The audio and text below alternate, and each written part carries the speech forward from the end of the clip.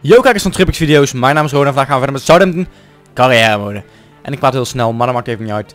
Eh, we staan derde, met eh 10 punten onder Manchester United, eh, ja, en City trouwens ook. Maar City heeft een wedstrijd minder. Nou ja, trouwens, wij ook, we hebben ook een wedstrijd minder. Dus we kunnen op eh 7 punten minder komen, is nog steeds te veel. Maar oké, weet je, we komen dichterbij en misschien kunnen we het nog halen. Long is, man, of, eh, Long is eh, topscorer in de Premier League op het moment. Maar we gaan gelijk spelen de eerste wedstrijd tegen QPR, denk maar. En eh, dat, is een, dat is een wedstrijd die we eigenlijk moeten winnen. Maar je weet het nooit. Even kijken, met wie spelen we? Ja, natuurlijk. een Bemba is geblesseerd. Dus dat gaat hem niet worden. We zouden Kelleker een keer een kans kunnen geven, want dat heb ik ook gezien. Oulare is trouwens toch moe, dus maakt niet uit. AK is ook wel een pittig moe. Nog een Bertrand, die eh, moet daar natuurlijk ook gewoon staan. Voor de rest, Bilal. Houden we daar nog even. En dan doen we het met eh, deze opstelling. Oké, de wedstrijd gaat zo meteen beginnen in het stadion van QPR. En QPR is in het echte leven gedegradeerd. Maar eh, hierop nog niet in ieder geval. Maar het is wel een, een ploeg die wij moeten verslaan. Zoals je ziet staan ze ook dertiende. Met een doelsaldo van min 3, dat is niet best, maar dertiende is op zich wel een goede eindpositie voor Vargas. Met de voorzet, daar is Hoylet. Maar we kunnen wegwerken en counteren, Bilal. Terug op J. Rodriguez. J. Rodriguez is er langs. Kom op J. Rodriguez, je bent er langs jongen. Kom op met links dan, uithalen, bam, goal. 0-1 in de zevende minuut al. En counter goal. Dus eh, ja, is mooi meegenomen natuurlijk. Met die snelheid van J. Rodriguez en eh, een goede paas ook van Bilal. Dat is wel een simpel goal op zich. Van, eh, die snelheid gebruiken die we daarvoor in hebben. En zo simpel is het. Soms in FIFA. FIFA kan soms tegenzitten, maar kan soms ook meezitten. En dat is natuurlijk gewoon altijd al geweest. Er zit wel veel bullshit in natuurlijk, maar ja. Het is gewoon een prima goal. J. Rodriguez onderschept de bal. Lekker gedaan. Buitenom. Oké. Als dit een goal is. Heel simpel. Achtste minuut. 2-0. Oké. Wat een gepruts van QPR. Is dit dan legendarisch? Tja.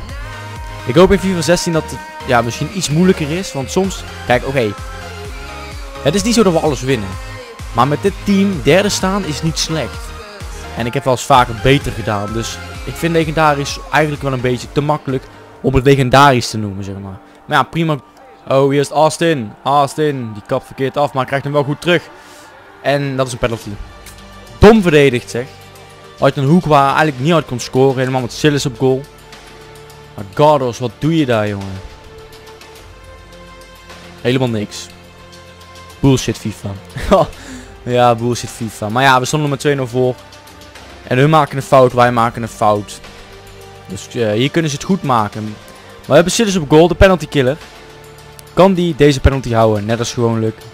Hij houdt altijd alle penalties. En deze mm, niet. Alright. Ja, prima ingeschoten zou je kunnen zeggen. Sillis zat wel in de goede hoek. Maar ja, dat zit Sillis wel eens vaker en dan heeft hij hem alsnog niet. Maar ja, in ieder geval. We staan nog voor. En dat is een beetje een bullshit doelpunt. Dat is wel gewoon dit doortrekken eigenlijk. Het spel wat we nou doen. Dan winnen we gewoon heel simpel. Maar skippen mag nou wel. Oh, wat een aanval. Holy shit, dat was een goed schot van ver volgens mij. Ja, dat is ver. Maar goed gered door Sillissen, maar dat is wel een hoekschopje nog. Come on. Barton aan de bal. En die geeft hem. En Sillissen heeft hem. Bilal. Bilal. Nee. Oh, Nathaniel Klein is geblesseerd. Wat een feest. Ehm, voor wie moeten we hem wisselen? Is de vraag. Al de wereld, denk maar.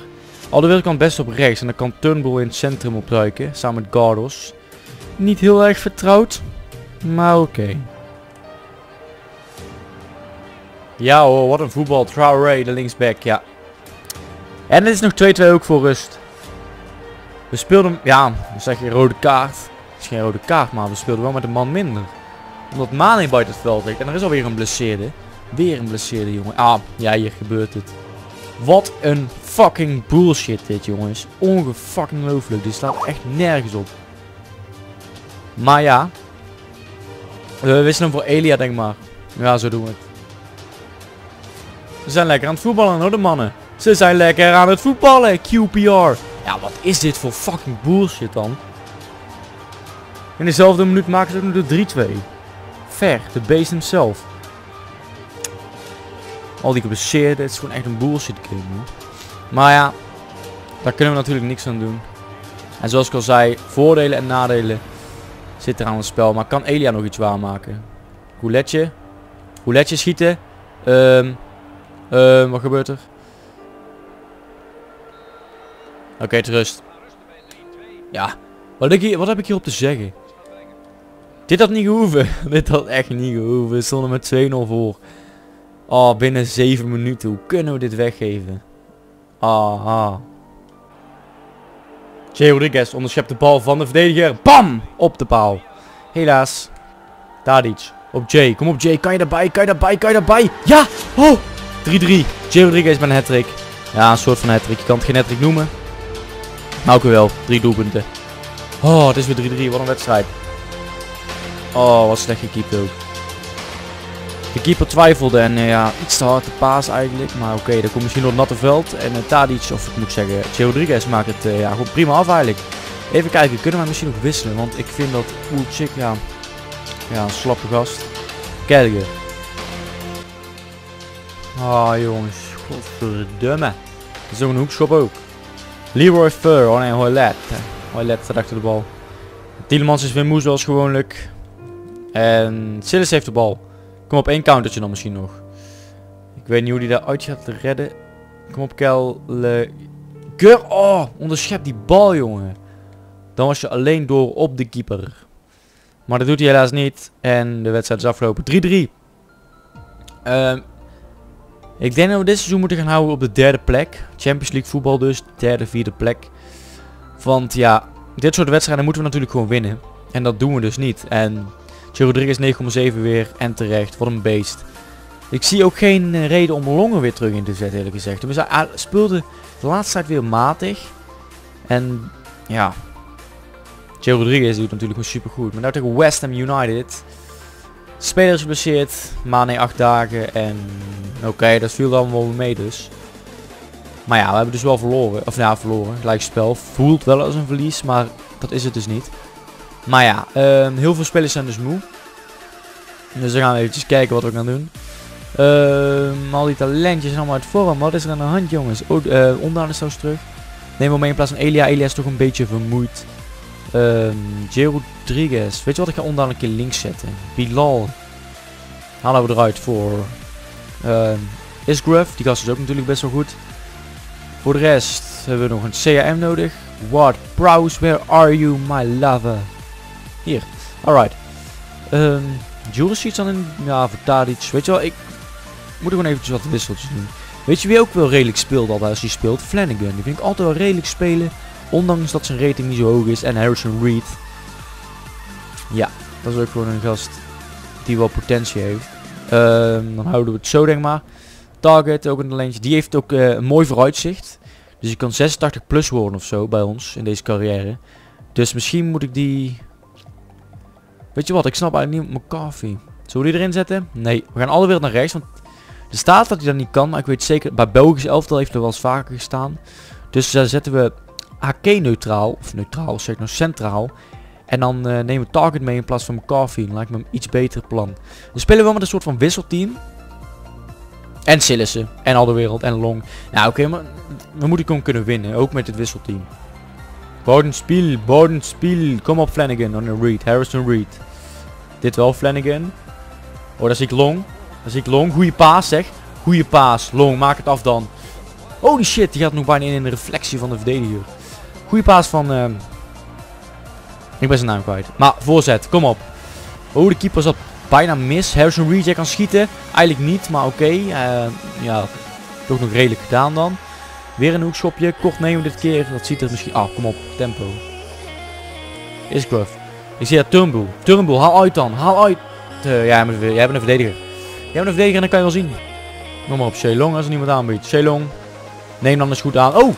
Wat Prous. Oh, leg terug op Flanagan. Flanagan heel veel ruimte. Rustig aan. Flanagan is wel heel rustig aan. En is. Holy shit, scheve hond. Nou was gelukkig bij het spel, maar holy shit, dat was scheef. Is grof. Is. Kom op, jongen. Isgrof! Holy cheese, man! Wat een goal. Wat een doelpunt. In de, oh, 1 minuut oh, vanaf de aftrap meteen. Verdient hij meer speeltijd? Bij Southampton is de vraag. Hij is al 22, hij is pas... Wat is het? 68 punten? Dus het is niet echt hoog. Wat? Een goal van Isgrof. Moet je kijken. Mooi binnengeschoten. Kom aan. Poulare. Op Pelle. Kom op jongen. Je snelheid. Gebruik je snelheid. Oh Pelle. Pelle gozer. Pelle gozer. Pelle. Pelle. Pelle. Alright, de wedstrijd is afgelopen. We winnen met 1-0 van West Ham. Met het wisselteam. Kunnen we wel zeggen. En dat is een prima resultaat. Een prima resultaat. Turnboel man of the match bij ons dan in ieder geval. 7.1. Dat is wel netjes. We hadden ook echt maar één schot op doel. Maar oké. Ehm, kunnen we nog iets halen? City speelt gelijk. Manchester United speelde blijkbaar niet. Dat klopt ook. Dus we komen weer een beetje dichterbij. Maar ja, dat is nog steeds, best ver weg. En dan zullen we zien. Swansea is de volgende opponent. Maar dat zal zijn in de volgende aflevering. En ja, Hongarije is dan weer niet het land waar ik bij wil. Dus helaas Hongarije moeten wij jou afwijzen. En een Bemba is weer terug. Dus je kan weer spelen. Dus dat is ook mooi. Swansea thuis voor de volgende aflevering. Ik kan spelen coach. Alright. Ehm, ja. Even naar het selectieverslag. En dan zullen we zien wie er gegroeid is. Ik heb trouwens ook een vraag. Misschien is het een leuk idee om wat makkelijkere thuiswedstrijden, bijvoorbeeld Swansea. Zeg niet dat het een slecht team is. Maar om die te gaan stimuleren. Om sneller door een seizoen heen te komen. En dan kunnen we misschien meerdere seizoenen doen. Voordat FIFA 16 uit is. En dan weet ik het nog niet. Dat weet ik allemaal nog niet. Maar ik bedoel, simuleren. Laat het maar weten. Bedankt voor het kijken naar deze aflevering. Laat een like achter. Voor TripX video's. En dan zie ik je bij de volgende aflevering. Later guys.